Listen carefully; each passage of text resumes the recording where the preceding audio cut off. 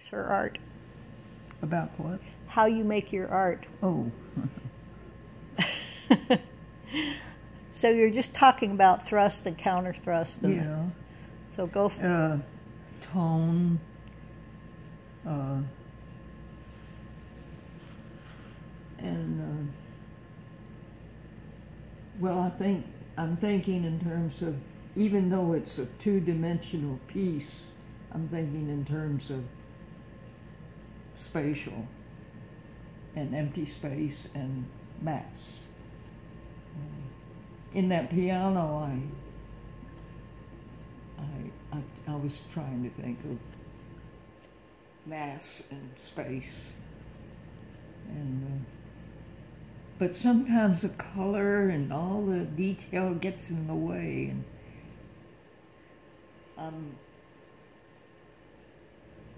I look. Uh, what encourages me, I, uh, if I had gone to the art museum today, I like to go to the library now, and what I'm actually I'm trying to do is to absorb or, or observe, observe what are these. I continue to think this way, even since the 70s. I'm continuing to think this way. What is contemporary art saying? What is it all about? Well, it's about uh, issues, it's about everyday common objects, it's about what you observe.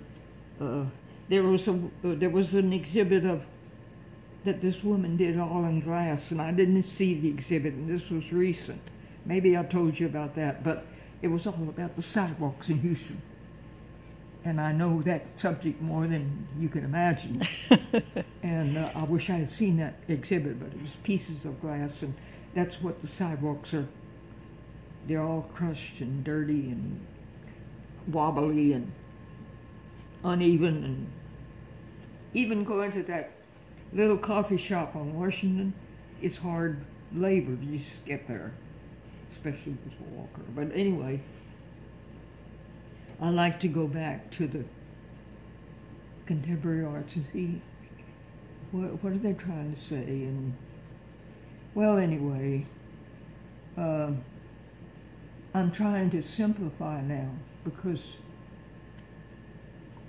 other than that, where it's too busy, it's a lot of busyness, I want to get away from that.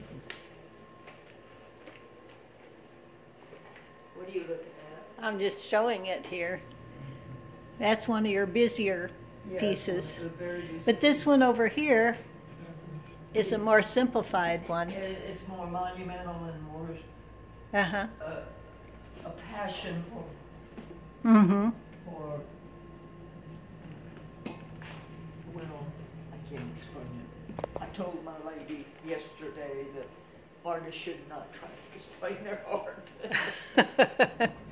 But uh, I, I, I want freedom to think about this. I don't want my domestic help to come in and interfere with this. you want, don't- I don't know. you're turning into a hermit. Mhm. You- You're hermitizing. Um, what? hermitizing, turning into a hermit. Yeah. Well, I, I, I, uh, I admire that adornment that the Buddhists teach of bringing,